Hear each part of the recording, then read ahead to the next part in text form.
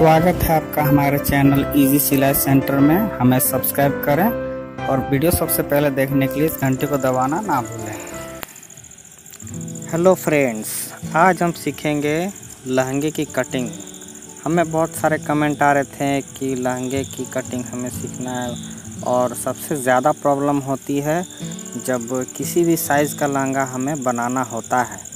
तो ये लहंगा हम बहुत ही आसानी से सीखेंगे और प्लीज़ वीडियो को पूरा देखें, इसके बाद आपको कोई भी तकलीफ़ नहीं होगी। ये देखिए, ये कमर है, ये लंबाई है, और देख सकते हैं आप, ये कमर का साइज़ है, ये हमने 28 अगर लेते हैं, और ये लंबाई कोई सा भी साइज़ का आपको हम आज अब फार्मूला बता देंगे, ये कोई सा भी साइज़ का घेरा। तो चलिए शुरू करते हैं। ये देखिए, कमर है। चलिए।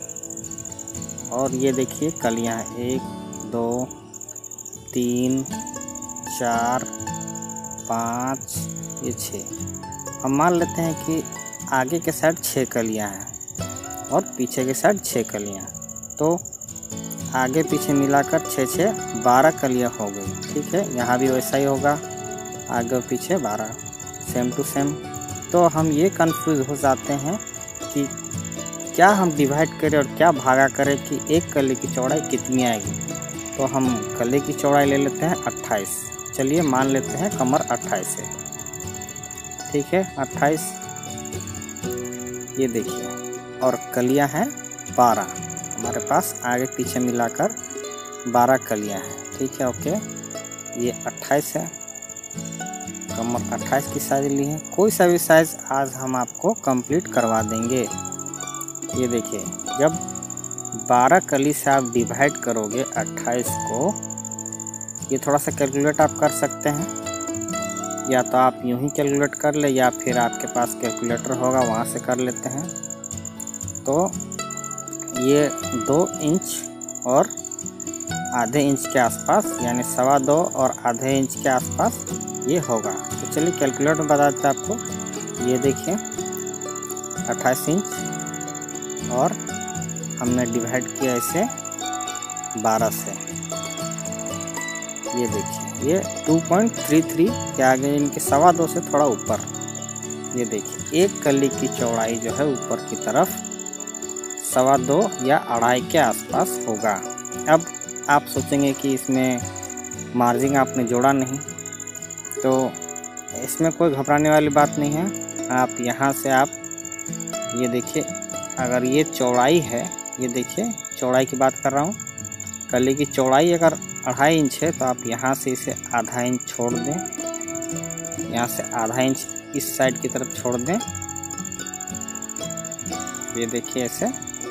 अगर आप आधा इंच दबाव लेना चाहते हैं तो आधा इंच, और एक इंच दबाव लेना चाहते हैं तो एक इंच। ये कोई ज़रूरी नहीं है कि आधा इंच ही हो, उससे कम भी हो सकता है, ज़्यादा भी हो सकता है। ये देखिए, ये बीच का अढ़ाई इंच और आधा इंच इधर, आधा इंच उधर। ये तो हो गई ऊपर की बात। ओके? ये ऊपर का आपका कली तैयार हो गया। क्या साइज़ रखना है, ये आप सीख चुके होंगे, आशा करता हूँ। अब चलिए नीचे की बात करते हैं। ये घेरा जो है, इसमें बहुत ज़्यादा कन्फ्यूज़न होता है। कि पाँच मीटर घेरा है तो हम एक की चौड़ाई कितनी ले कि पाँच मीटर आ जाए। तो चलिए ये भी कन्फ्यूज़न दूर कर देते हैं। ये हमने चौड़ाई लिया पाँच मीटर। ठीक है? पाँच मीटर घेरा यानी आगे आधा अढ़ाई मीटर और पीछे अढ़ाई मीटर। पाँच मीटर टोटल है। तो आप इसे सीएम में कन्वर्ट करना सीखिए। यानी कि एक मीटर में सौ सेंटीमीटर होते हैं। ये आप जान जाइए। ये देखिए। एक मीटर बराबर सौ सेंटीमीटर होता है, ये आपको पता है। ये देखिए। एक मीटर बराबर सौ सेंटीमीटर। इसको आप इंच में नहीं, आप मीटर में इसको भाग कीजिएगा तो ज़्यादा अच्छा रहेगा। आप सीएम से कीजिएगा तो बहुत ही बढ़िया ये बैठेगा। इसीलिए। तो पाँच मीटर के हो गए हमारे पास पाँच सौ सेंटीमीटर। ध्यान दीजिएगा मेरी बात को, पाँच मीटर का पाँच सौ सेंटीमीटर हो जाता है। अब इसे क्या करना है, आप समझ गए होंगे। इसे भी हमें 12 से डिवाइड करना है। ये देखिए 500 सीएम। ये हमारा 500 सीएम तैयार हो गया। थोड़ा सा आप पढ़े लिखे होंगे तो ये चीज़ आसानी से कर सकते हैं। वीडियो का आप दो बार, तीन बार ध्यान से देखिए। बहुत ही आसान है ये। चलिए। ये देखिए। 500 माउस सही से काम नहीं कर रहा। तो ये 500 ये हमारी 12 कलियाँ। डिवाइडेड बाय 12 ये आप यूँ ही डिवाइड कर लेंगे तो इकतालीस पॉइंट कुछ आएगा। ये देखिए, ये समझना बहुत ही आसान है। ये देखिए, इसको आप आराम से डिवाइड कर लीजिए। ये आएगा इकतालीस पॉइंट कुछ आएगा। ये हिसाब करना बहुत ज़रूरी है आपको। दोस्तों, ये हिसाब अगर आप कर लिए तो किसी भी साइज़ में, किसी भी मेज़रमेंट में आप धोखा नहीं खा सकते। आप इक्वल वहाँ पे बैठा लोगे। कोई दिक्कत नहीं आएगी आपको। और आप कभी किसी भी साइज़ में कंफ्यूज नहीं होइएगा। ये थोड़ा सा मेहनत कीजिए आप। है तो ये बहुत आसान। अगर थोड़े से पढ़े लिखे आप हो, ये चीज़ हो जाएगी बहुत ही आसानी से। और वीडियो को पूरा देखिए। एक साइज़ और हम आपको करके बताएँगे। ये तो होगी अट्ठाईस और पाँच मीटर की। थोड़ी देर में आपको हम बत्तीस और चार मीटर की समझाएँगे। ये देखिए, ये इकतालीस, साढ़े इकतालीस, साढ़े यानी इकतालीस सी होगी एक की चौड़ाई। ठीक है? अगर आपको नहीं आ रहा तो ये कैलकुलेट में कर लेते हैं इस तरीके से। ये देखिए 500 डिवाइडेड बाय 12 इक्वल टू इकतालीस पॉइंट सिक्स सिक्स, यानी कि एक इंच का दो भाग।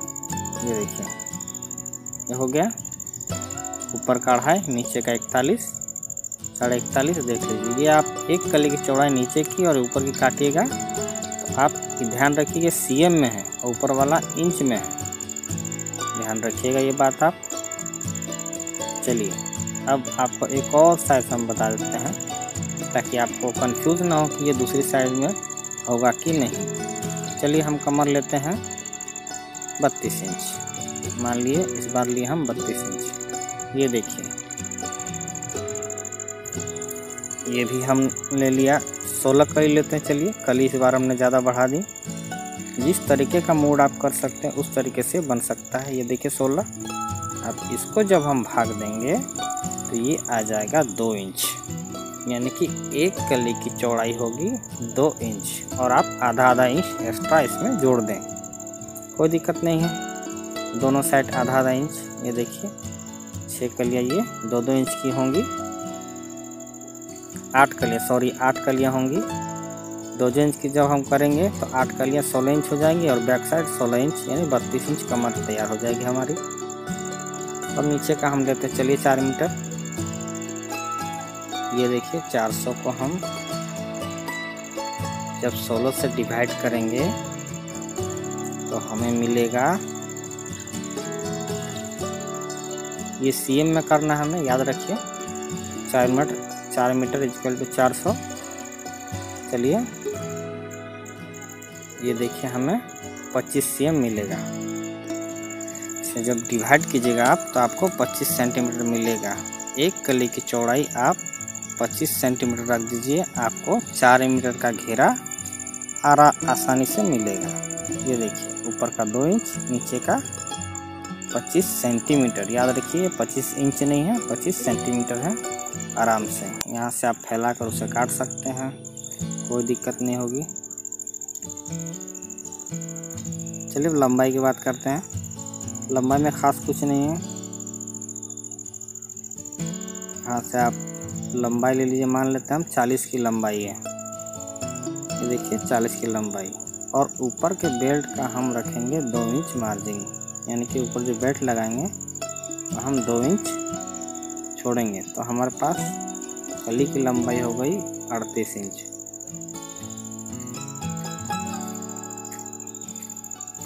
ये देखिए। ये दो इंच हमारे पास बेल्ट हमें लगाना है। ओके? उसके बाद हमें क्या करना है? अड़तीस आप कली काट लीजिए और उसमें आधा इंच ऊपर, आधा इंच ऊपर आप छोड़ दीजिए। कोई डिफ़िकल्ट नहीं है। ठीक है? आधा इंच ऊपर। ध्यान से सुनिए मैं क्या कह रहा हूँ। आधा इंच ऊपर के साइड और आधा इंच नीचे के साइड यानी कि आप पट्टा जो जोड़ेंगे वो दो इंच तो अलग हो जाएगी। और इधर आपका जो है, नीचे साइड आप कुछ ही पट्टा ला के अंदर साइड फोल्ड कर सकते हैं। ठीक है? तो इस तरीके से हमने बहुत ही आसान तरीके से ये सीखा है। आशा करता हूँ आपको ये वीडियो पसंद आया होगा। और दोस्तों, में ये शेयर कर दीजिए ताकि वो भी कुछ ज्ञान की प्राप्ति कर सकें। और वीडियो अच्छा लगे तो हमें लाइक करें कमेंट करें और शेयर तो बनता ही है दोस्तों। और भी हमारे सारे वीडियो देखने के लिए यहाँ पर आप क्लिक करके देख सकते हैं। पूरा वीडियो देखने के लिए आपका बहुत बहुत मैं आभारी रहूँगा। और अगर चैनल को सब्सक्राइब नहीं किया है तो दोस्तों, प्लीज़ सब्सक्राइब कर ले। आपका दिन मंगल मंगलमय हो। जय हिंद।